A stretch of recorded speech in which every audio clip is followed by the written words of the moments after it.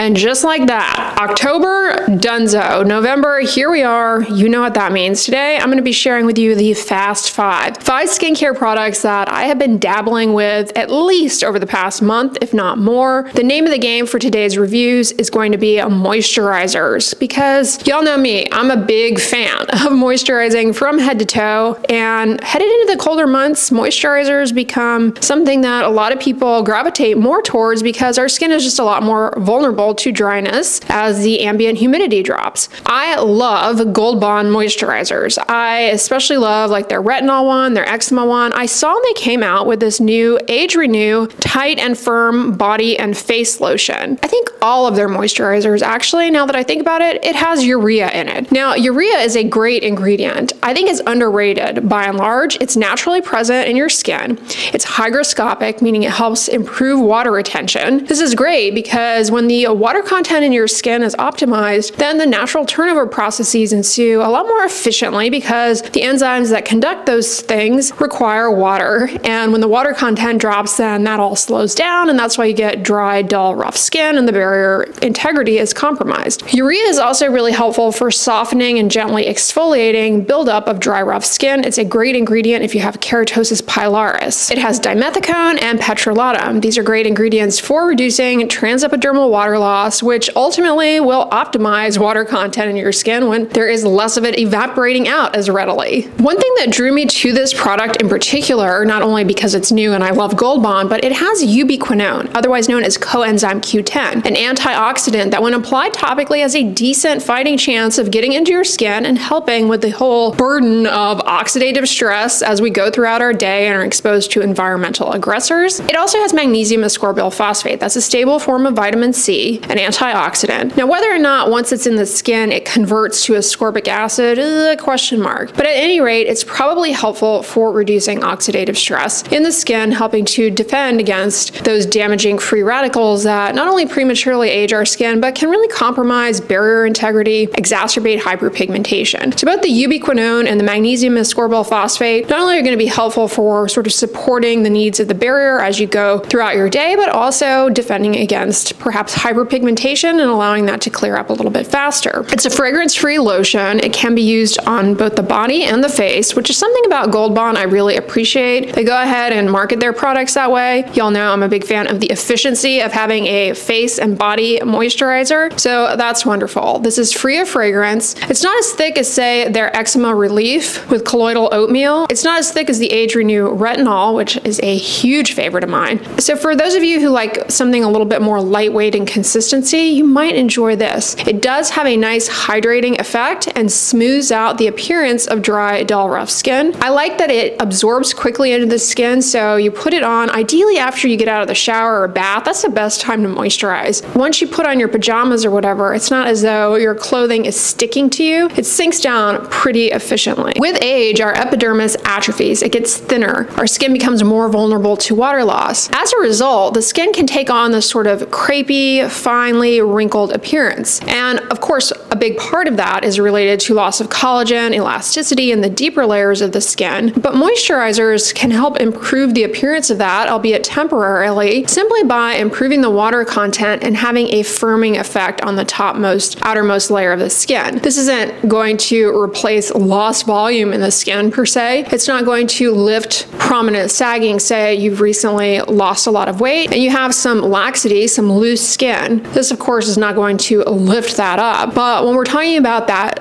crepey appearance, this definitely can improve the appearance of that. I've really enjoyed this. And if you were wondering, is this any good? It, it is good. I honestly, Gold Bond, they, they really do a good job with the moisturizers. I, you know, they're often known for the foot powder, right? People who know about Gold Bond moisturizers, they're loyal. Okay, so CeraVe has a few newer renditions of some of their moisturizers with sunscreen, which I reviewed for you guys this past month. They came out with some new tints of their mineral sunscreen And they also are now offering an AM facial lotion with a bumped up SPF 50 versus SPF 30. And I really have enjoyed this. So it's a hybrid sunscreen. It's got zinc and some chemical filters. It does leave a bit of a white cast, but I've said this before, when it comes to sunscreen casts, an all mineral and inorganic sunscreen that does not have any organic, aka chemical active ingredients, tends to be the castiest. And organic, aka chemical sunscreen, typically does not have any cast. A hybrid has a little bit of a cast, but it's not as intense as a all mineral sunscreen is in my experience. And this falls in line with that. The base is a really good daily facial moisturizer. Ceramides, which are lipids naturally found in skin's outermost layer, also has hyaluronic acid, which is hydrating. It has niacinamide, an antioxidant that's good for redness, dark spots, the moisture barrier. Easy to tolerate around the eyes. And I want to draw your attention to this because you do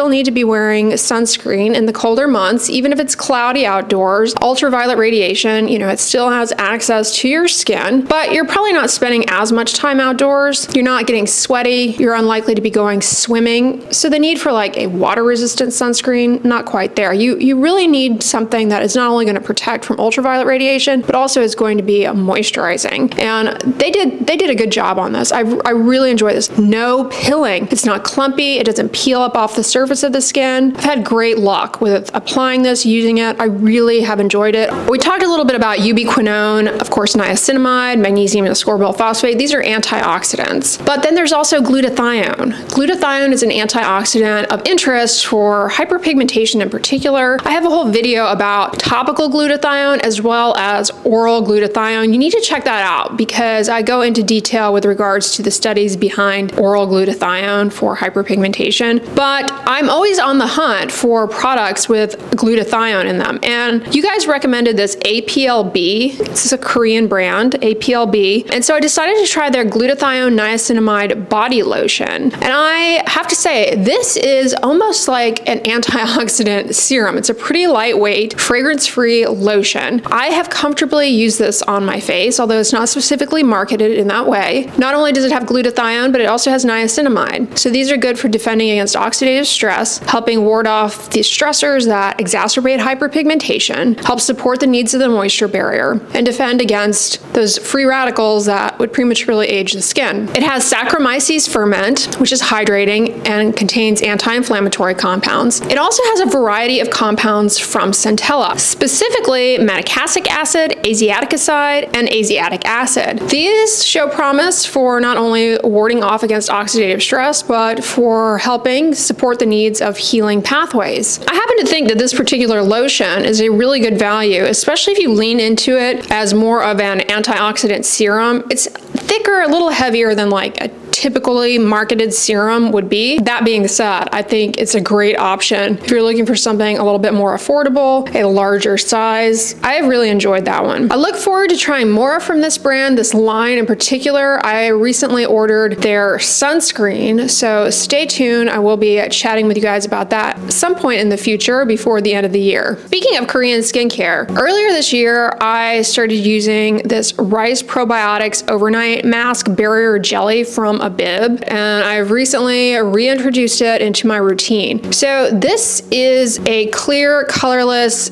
jelly-like texture, thick, very thick. It really does what it kind of markets itself as doing. It is great for your skin barrier. Fragrance-free, it has rice ferment, Saccharomyces ferment, no niacinamide. I highly recommend this if you are going through a bout of sensitivity, redness, peeling, irritation, because it is so soothing, so supportive of the needs of the barrier. It's like a little cushion to your skin. It is a little sticky, I would say, in terms of the texture. It takes a long time for it to really dry down and absorb. As you're applying it on, it almost looks like you have this thin sheet of cellophane on your face. It's like really good at reducing water loss. What I like about this and how I would recommend considering using it is in the retinoid sandwich as the top coat. So retinoid sandwich sandwich, if you're not aware, is a way to moisturize the skin while using a topical retinoid to reduce dryness and irritation. You put a moisturizer on, then you put your retinoid on, and then you put another layer of moisturizer on. I don't suggest putting this one on first because it is a thick barrier jelly, so you might not get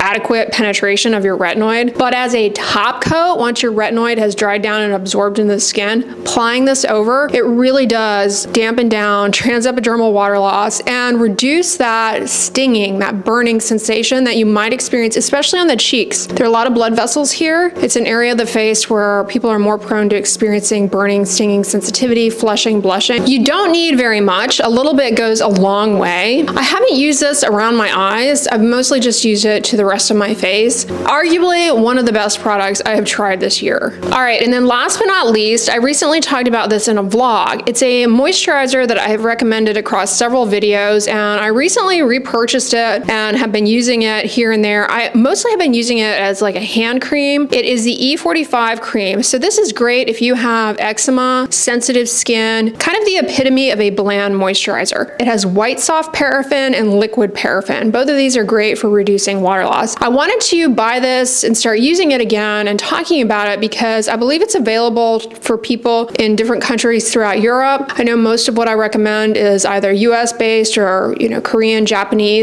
but if you are looking for a moisturizer to get you through winter and the colder months this year, especially if you have atopic dermatitis, consider this one. It's a really good, very rich cream, great for atopic dermatitis. Now it does have lanolin. Lanolin is moisturizing. It is a potential allergen. It's not as common of an allergen as was once thought. It's more common as an allergen in people who have something called stasis dermatitis of the lower legs, but you can develop allergy to it. So just be aware of that. It's it's pretty heavy. I tried it on my face. I found it a bit uncomfortable on the face, but as a body moisturizer, it's a great option, especially for dry, rough elbows and knees. Really does a good job lubricating the skin surface to reduce friction. I've used it a lot on like my ankles. My ankles get really dry because I run, the sweat and the friction and all of that dries out the skin there, leads to just discoloration. So this is great to lubricate, hydrate, reduce water loss. All right, so that's a wrap up with regards to what I've been trying out this past month. I hope this video was informative to you guys who are maybe curious about different moisturizers. Maybe you're just curious about these products in particular. So hopefully this was helpful to you all. Make sure you check out my recent video reviewing the CeraVe sunscreens because I show the different tints and everything. As a matter of fact, I'm going to put that video on the end slate. So if you're interested in watching it, tap on the end slate thumbnail and it'll take you right to that video. But I hope you guys are having a great first day of November. If you like this video, give it a thumbs up, share it with your friends, and as always, don't forget, sunscreen and subscribe. I'll talk to you guys tomorrow.